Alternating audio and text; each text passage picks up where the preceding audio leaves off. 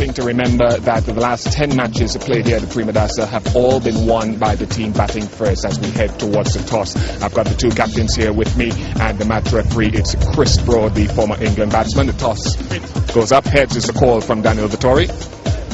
It is a tail. So Sri Lanka have won the toss. Kumar, what are you going to do? well, we're going to have a bat. Uh, yeah, it's been a while since we won the toss, but winning the toss doesn't mean you win the game. We've got to come out here and do our job properly. What about your team? Any changes from the 2020 match? Um, yeah, we've got a few changes. We've got uh, Thilan Thushara coming back in. Uh, we've got Thilina Kandamby coming back into the squad. Uh, Thilan Samaraweera coming into the middle order uh, to strengthen that. So uh, we've got a good balanced side. Yeah, it's been a source of worry for you, the batting inconsistencies. Will that affect the way the guys, the real power players at the top perform? Uh, not really. I think everyone's got to play their game and trust each other to do their job. If you're a batsman and you've got a specific job to do, you walk out there and do it. Uh, that's the bottom line. No one else is going to do it for you. You're finally judged on your performance and you're selected in the side for that uh, particular performance. So the responsibility is yours. So in saying that, you haven't had to say anything to Sanath Jayasuriya this morning? Ah, no, nothing at all. Just go out there, play his game. They all understand. He's played 18 years of cricket. I've played 10. He knows a lot more about the game than I do, so he'll definitely come out on top. Good luck today. Thank you. Daniel, please come this way. You know the stats about uh, batting second here. How do you overcome that history?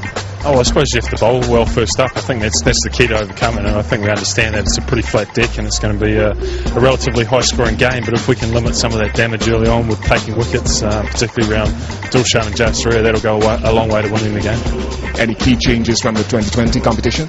Uh, yeah, unfortunately, Kyle Mills has been ruled out with uh, a bit of a sickness, so Daryl Tuffy comes in and uh, Grant Elliott comes in for Neil. Who's the other spinner that's going to be partnering you, if any? Uh, Nathan McCullum's on the side. He's, he's a bit more of an all-rounder, but he bowled really well in the second 2020 game and, and bowled well in our warm-up one-day game. So he comes in for his debut, and we have high hopes for him and uh, just looking forward to the champion trophy mm, champions trophy not too far away. You've taken great confidence from that 2020 competition but you lost against the 18 yeah it was uh, it's disappointing. I think yeah you put so much work into getting yourself back on track with those two 2020 wins and, and we didn't put out a full strength side but still you want to you want to turn up and continue to win. So uh, hopefully we can rectify that today.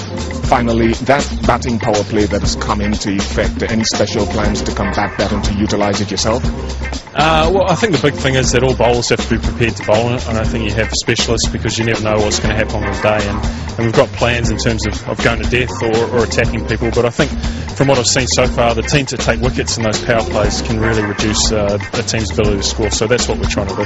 Go well tonight. Thanks, Ian. Cheers. Right, just a reminder of what has happened here at the toss. Sri Lanka have won the toss. They'll be batting first.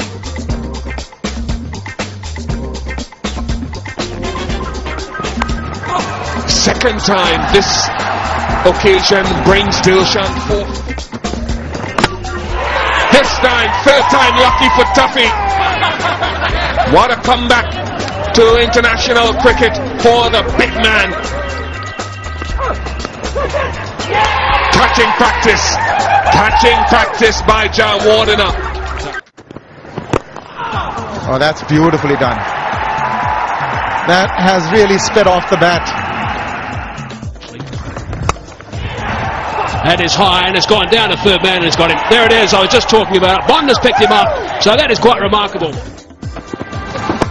That's in the air and uh, it's going to be caught surely. It's up there, staying up there. It's up there still. Yes, it's caught. Well, I think he's got to go. Mathews, good bat. Now this is a good shot. This is a very good shot.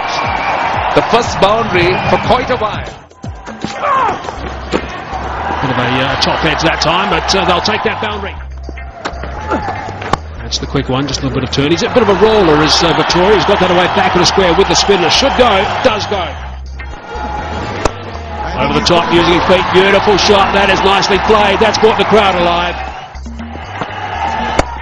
Flatter. Wants to walk through, does.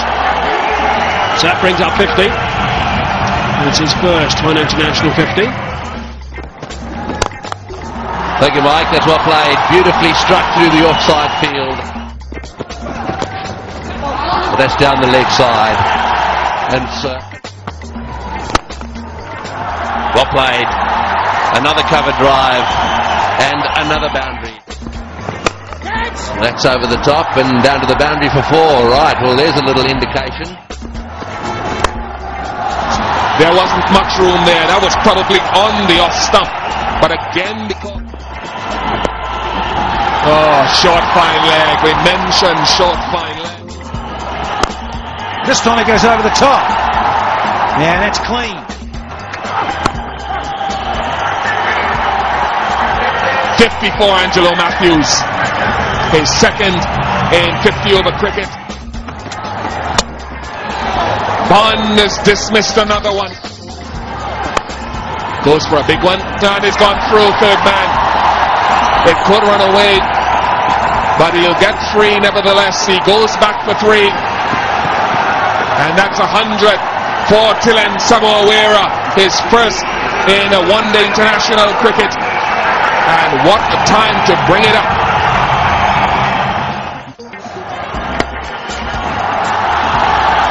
What a smash, what a slash. That is the end of that. At that point. This is a lovely stroke. What a gorgeous way to finish the innings. They need 217 to win from 50 overs at uh, just under 4.4. Not impossible, but not easy in these conditions.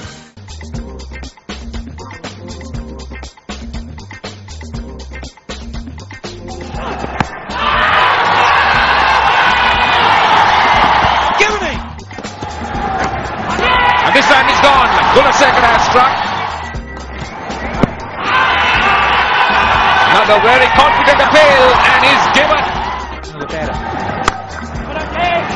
This one will race away for four. And the first boundary. Nice and fine. It's going to be uh, a boundary.